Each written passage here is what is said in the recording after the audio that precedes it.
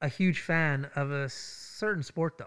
Huge, huge fan of this sport. All right, what sport is that? It's wrestling, Elliott. It's wrestling. I love wrestling. There we go. Tanner, you hitting him with the uh, the belt? I got the belt. All Got right, you belt brought in your your WWF belt in. That's there- right. There's a difference. There's a distinction. It used to be called the WWF, Yes. but then the World Wildlife Foundation got upset. That's right. They had to change it. Get the get the F out, they called it. I like it. Yeah. So let's talk about that first and foremost.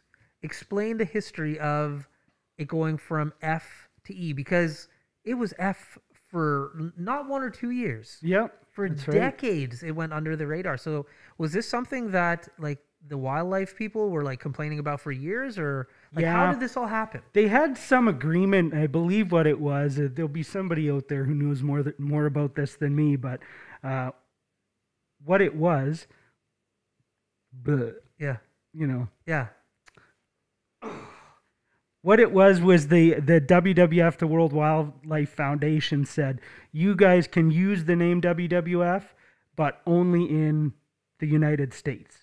Okay. And so then when the WWF started to expand globally, Right. uh, and they used the WWF name, now the World Wildlife Foundation got upset about that, Right. and uh, they they had to had to sue them, I believe, and get them to change the name. Oh, So- okay. So what is I just oh, I said this. That's another Mac City Morning Show done.